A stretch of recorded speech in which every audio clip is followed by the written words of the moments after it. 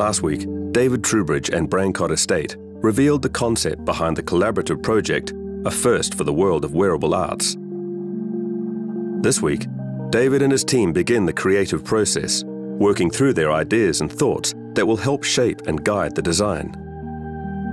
In this episode, we get a first-hand look into what that process looks like. So, so last week I sort of talked about the, the initial idea of the gannets and first flight and that sort of amazing image of the gannet taking off.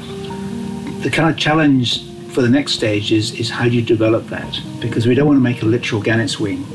So we've got to in some way apply wings and flight, but take it away from that first inspiration into a sort of more abstract form, which is bringing in other things, um, other references. And it's kind of where it gets hard because you use formula, you play tricks, you, you do all sorts of artistic sort of drawings and things where you just explore options. You, you kind of try and free your mind and just draw things and, and um, individually or as a group we just get ideas thrown out and start to try and sort of get some direction out of that. We got together at home uh, as a team and, and tried to sort of just throw ideas out completely freely one of the sort of strongest things that came out of that was this sense of transition of, of, of not just depicting a first time, which is quite a sort of static notion.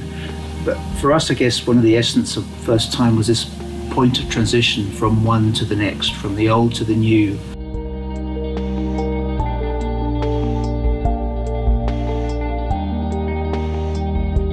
And so we, we kind of developed more of a uh, performance out of this. Rather than a static object which didn't really portray this sense of first, we have this sense of a, of a performance which in some way goes from before to after.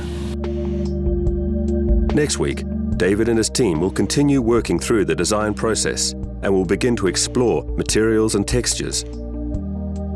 Remember, David needs your help to realize the potential of the project, so please send him an image that most represents a first to you. See the Brancott Estate website for details.